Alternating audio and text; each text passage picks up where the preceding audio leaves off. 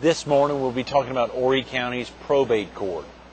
After you meet our guest, you judge whether or not we're in good hands. Coming up next on Carolina People.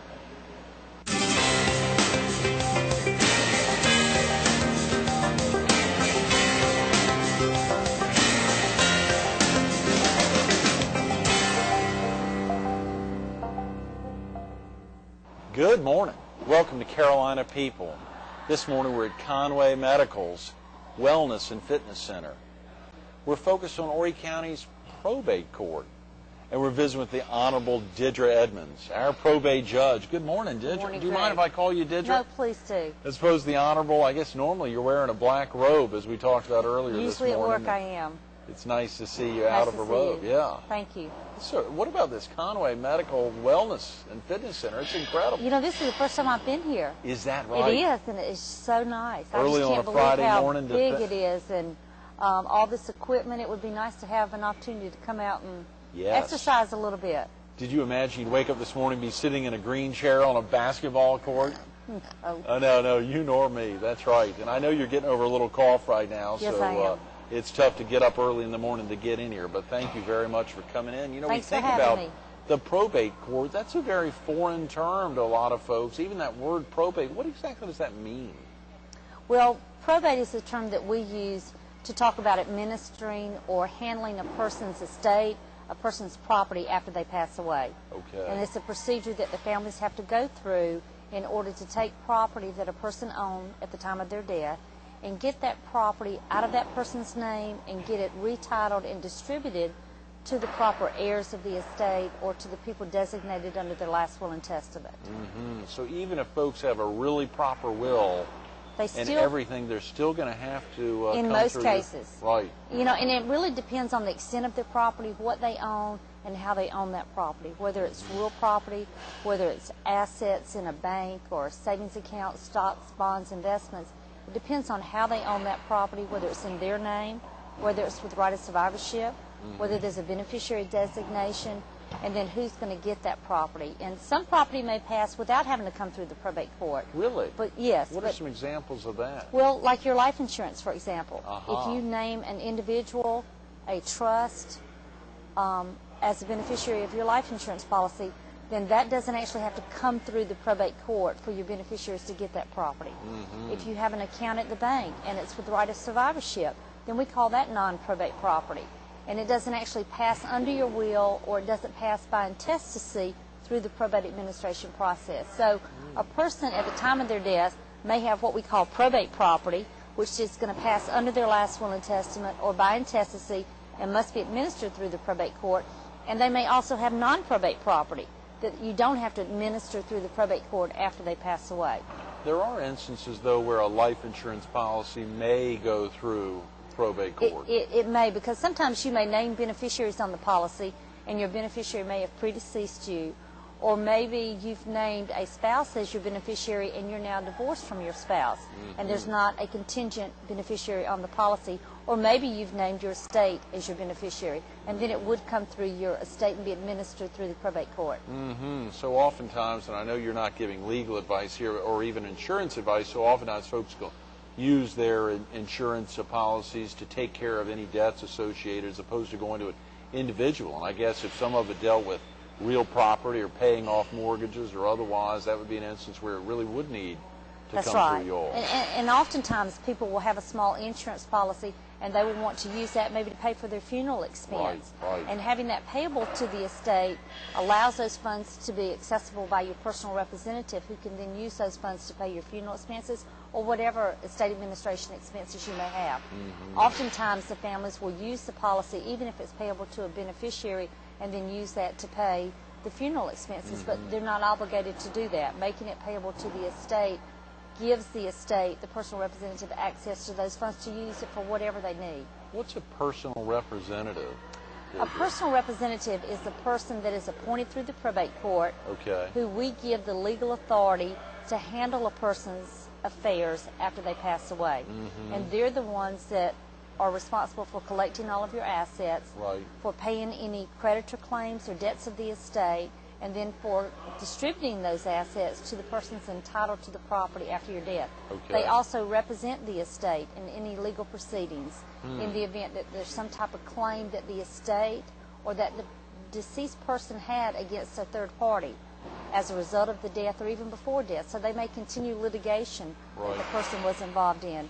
They may deal with the mortgages and the real estate and all the assets and settle any claims, bring any claims that they may need to, and then Mm-hmm. collect those assets and distribute them at the end of the administration. That's very serious stuff, Deirdre. I mean, we're really talking about very important issues. You know, you Certainly. think if if I'm if a viewer's crafting a will, can they decide who their personal representative will be, or does the probate court decide that? Well, the, if a person has a last will and testament, then that's one of the things that they're going to do in their will. They're going to Okay. designate and nominate who they want to be the personal representative. Often, though, when people die without a will, it's going to be left up to the probate court. Our state law sets forth a list of people that have priority to be appointed in the Right. event that there's not a will. Aha. Oftentimes, if you have a person that has several children, they may have equal priority. And if they can't agree on who's going to be appointed, then the matter becomes a contested issue before the probate judge. Boy, wow. Again, very serious matters, and I guess it, it truly is important uh, to work hard to make sure folks craft a will and keep it up to date. Absolutely. Mm-hmm. Absolutely. It's extremely important. We have many people that come in and they either try to prepare the will themselves. Maybe they got a form from an office supply company. Maybe they got something off the internet. Or maybe they use somebody else's will and they just whited out the names and they put their names in there and, and they end up creating so many problems when they do that. Mm, It's, Sometimes it's, I think it's better to, to even die without a will than to take it upon yourself to try to do it yourself. It is a legal document. Right. It's going to have some legal effect after your death, and it's important to take it seriously and have it properly executed and drafted for you Right. by a professional.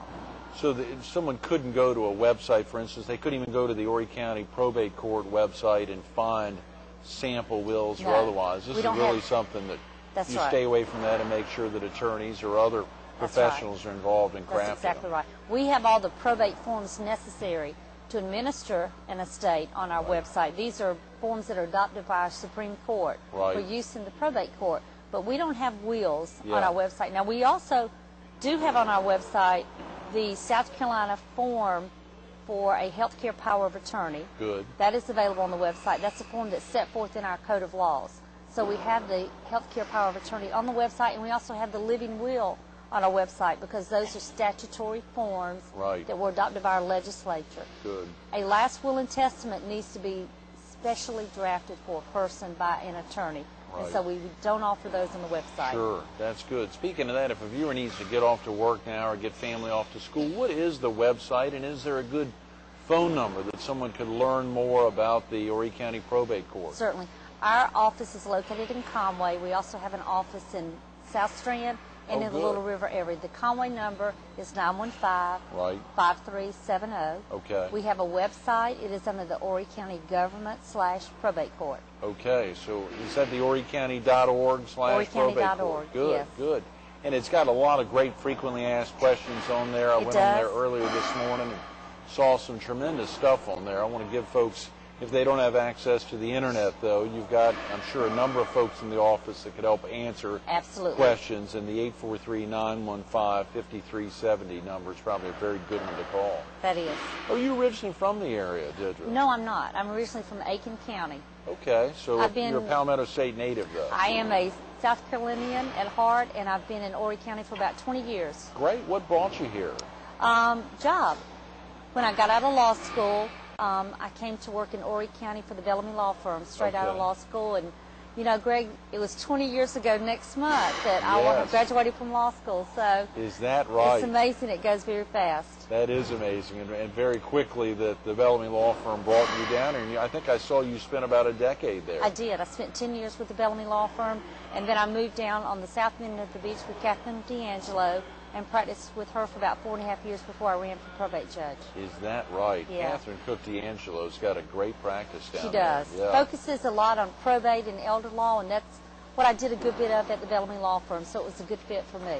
I saw her get sworn into the bar of the U.S. Supreme Court on a Did trip you? when uh, Chief Justice Toal had folks up, a big group of uh, female women attorneys. I went up with an old friend of mine to see her get sworn in. It was the same day Catherine was sworn in. It was a very nice ceremony, and Chief Justice told us this great event and getting a big group of uh, female attorneys together to tra- make the trip to Washington, and uh, it's a great idea. I hope a lot of states do that. Yes. I hope they do.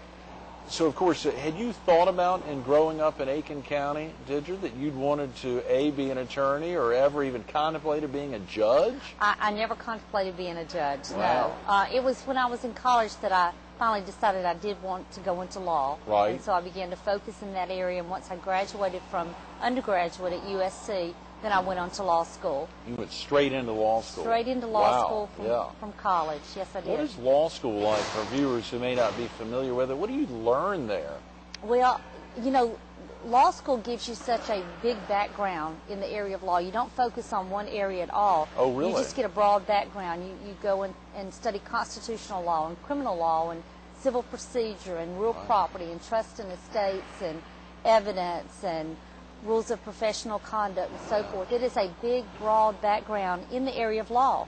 And it teaches you not only how to how to learn about the law and it teaches you a lot of individual things about the law, but it teaches you then how to research the law and how to go forward after you practice law and, and after you graduate from law school and then go into the practice of law and go forward and research, Right. prepare legal documents and pleadings and, and things of that nature. It's not as hands-on sometimes as far as the practice of law that maybe I think it could be, but it gives you that broad background mm-hmm. in the legal field of learning many different things. I mean, I was amazed when I went to law school that they had so many laws about so many different things. It was Right. astounding, really, to walk into that law school and see all the books written on laws. A very broad education then. Very. I remember my grandmother, who practiced law for many years, referred to it as a gentleman's education, much like taking Latin in school.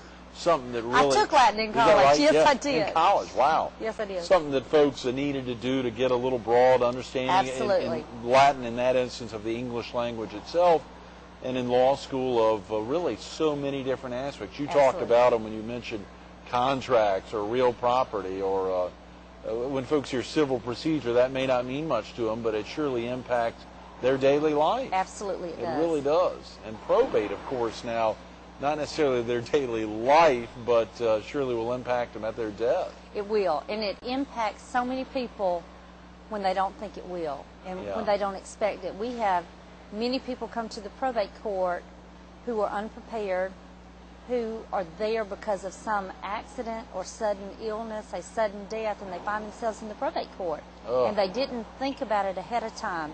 And, and there are minor children involved, and mm. there are lawsuits to be filed, mm. and they don't understand the complexities that are involved in what they're now facing, having to Oh, come through the probate court. We try very hard to make it simple for them. We try to guide them without giving them legal advice, but guide them through the procedures of opening an estate and getting started with the probate and doing the inventory.